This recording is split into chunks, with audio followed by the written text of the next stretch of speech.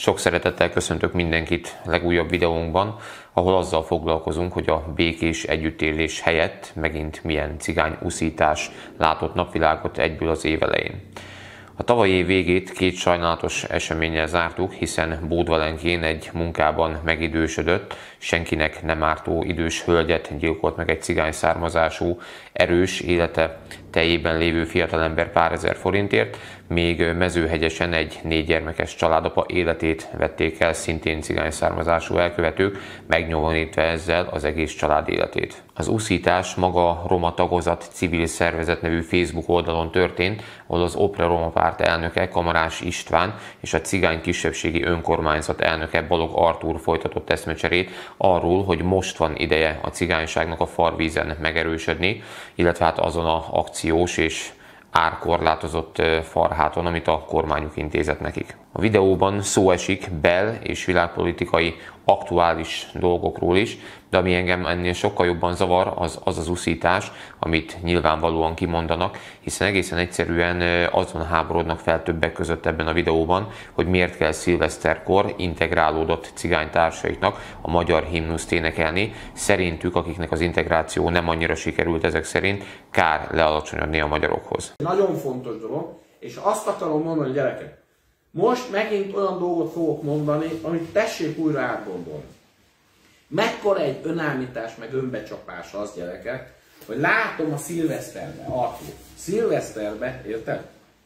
Fölállnak a cigányok, de sőt cigányok, olyan cigányok nem is tudnak magyarul szinte, hát tudnak, de százszor jól ismerem őket. Százszor jobban tudnak cigányul, mint magyarul. Tehát ők cigányul álmodnak, úgy beszélnek otthon minden. Fölállnak, és megy a parasztlakítás. Érted? Nincs erre szükség, cigányok. Testvéreim, nincs erre szükség, fölállnak, és éjfélbe elkezdik énekelni a magyar himnusz.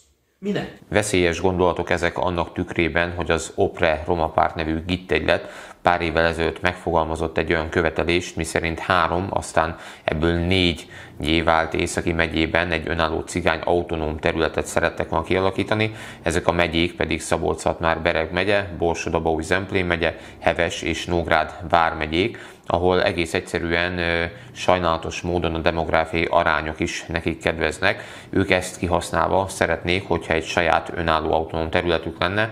Mi viszont úgy gondoljuk, és a Mi Hazánk Mozgalom úgy gondolja, hogy semmilyen autonómiáról nem esett szó soha, hiszen megcsonkított országunk egy és oszthatatlan, és ebből soha egy talpalatnyi földet sem kaparinthat meg senki, illetve mi azon vagyunk és arra törekszünk, hogy a tőlünk elvett, elszakított területek kapjanak autonómiát, ahol a magyarok több mint száz éve megalázva és semmiben nézve élik mindennapjaikat, de azt gondoljuk, hogy autonómiáról, ha szó eshet, az csak is az elszakított területeken történhet. Az ottani magyarokat több mint száz éve alázzák meg a saját szülőföldjükön, az ő védelmükben, mint őshonos kisebbség lehet bármilyen autonóm törekvésről szót ejteni a mi országunkban. A csonka országunknak egyetlen egy talpalatnyi részét sem birtokolhatja senki, természetesen, hiszen aki ennek az országnak a gúnyhatáron belüli részén lakik, az egyértelmű, hogy magyar állampolgár, magyar ember, és ehhez méltón kell viselkednie.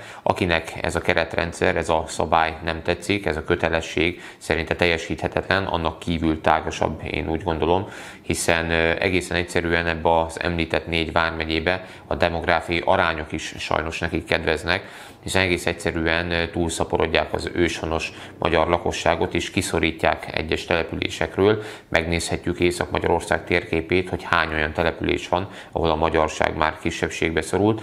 Mi viszont a Mi Hazánk Mozgalom úgy gondolja, hogy semmivel nincsen több joguk ebben az országban, mint a velünk évszázadok óta békében együtt élő jászoknak, kunoknak vagy sváboknak. Éppen ezért mi arra kérjük azokat a cigány honfitársainkat is, akik az integráció útján elértek arra a szintre, hogy velünk békében tudnak együtt élni, hogy ne üljenek fel az ilyen uszításoknak, hiszen egészen egyszerűen ez nem fog sehol vezetni, csak tengelytöréshez és egy polgárháborús állapothoz, ami senkinek nem lenne az érdeke.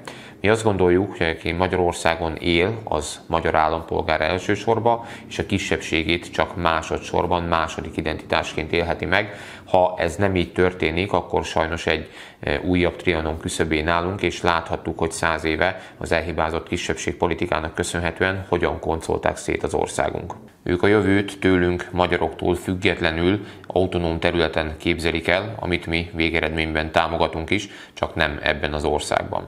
Ebben az országban mi azt támogatjuk, hogy az oktatást helyre kell állítani, az oktatáson belül olyan hazafias nevelést kell kapni minden egyes Magyarországon született gyereknek, ami egyértelművé teszi, hogy ő elsődlegesen magyar, és még meg se fordul a fejében, hogy esetleg ennek az országnak a területi egységét megpróbálja szétszakítani, rendbe kell tenni a rendvédelmet, hiszen egészen egyszerűen terrorban tartják most már a magyar őshons lakosokat nagyon sok településen, cigány származású fiatalok és nyíltan bűnözé életmódot folytató körök, és rendbe kell tenni a fejekben is azt, hogy ez az ország, ez egy és oszthatatlan, és soha senkinek nem fogjuk megengedni azt, hogy egyetlen egy talpaltnyi területet is kiszakítson belőle és ha végső konklúzióként szerintük a budaházihoz hasonlóan hazafiként viselkedő emberek mind nácik és államellenes dolgot tettek, akkor szerintünk pedig ők azok, akik úszítanak a magyar állam egysége ellen, a magyar emberek ellen,